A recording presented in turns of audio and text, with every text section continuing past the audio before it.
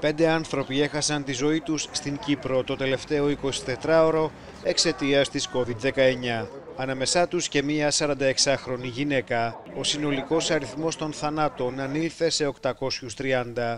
Ακόμη εντοπίστηκαν 2.322 κρούσματα. Στα νοσοκομεία της Μεγαλονίσου νοσηλεύονται 157 ασθενείς, εκ των οποίων οι 43 σε σοβαρή κατάσταση. Από αυτούς, 7 στους 10 δεν είναι εμβολιασμένοι.